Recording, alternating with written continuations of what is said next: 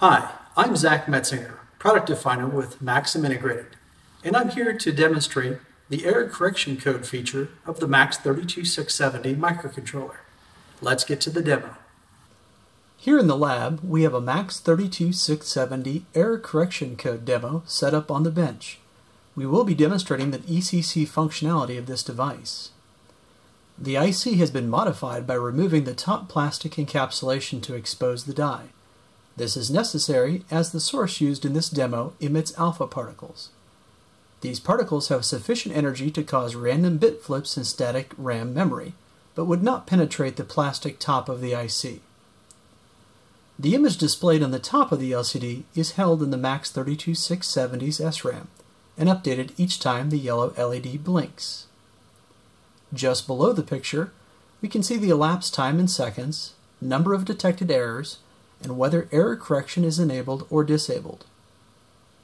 When an error has been detected in the SRAM, the red LED blinks and the speaker clicks. We will now place the alpha particle source to start the demo.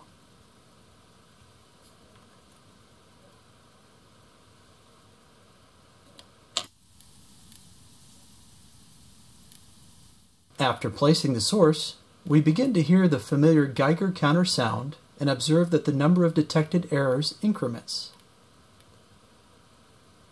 Note that the picture is not affected by the alpha particle strikes on the SRAM, as ECC has been enabled and is correcting single bit errors.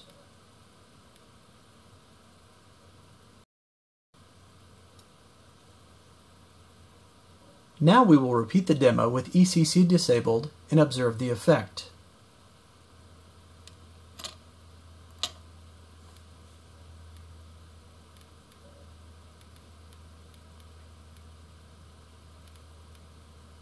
Almost immediately, we notice random pixels within the picture have changed. These strikes represent SRAM data corruption caused by alpha particle strikes.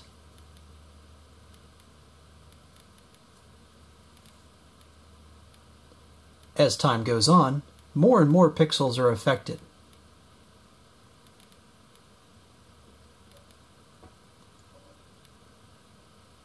Since this process is random, a time-lapse sequence was recorded which shows a one-hour run.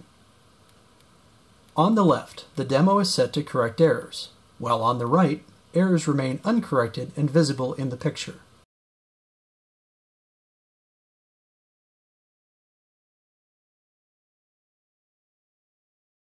This demo proves that ECC is a valuable feature when data integrity could cause downtime, loss of revenue, or operational safety concerns.